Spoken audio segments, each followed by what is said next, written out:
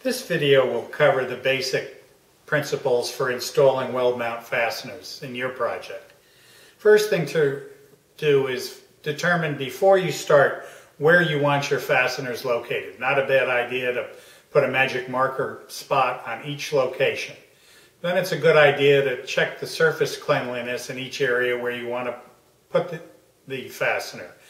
I always recommend a minimum of a solvent wipe, and in many cases, particularly on metal substrates, some Scotch-Brite to remove surface oxides is recommended.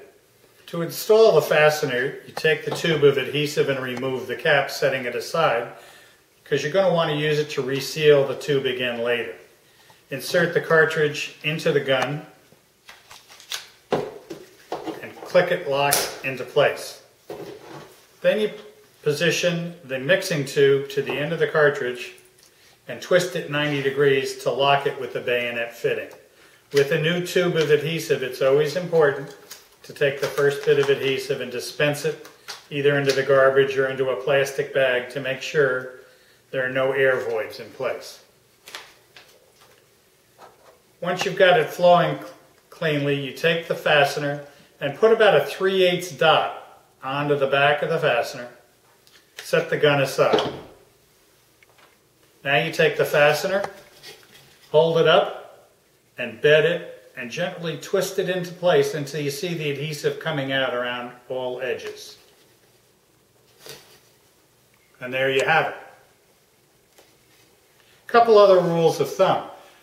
Our adhesives are gap filling to a quarter of an inch, so they work well on re relatively uh, irregular and rough surfaces. One tube of adhesive generally will mount approximately 150 to 200 parts.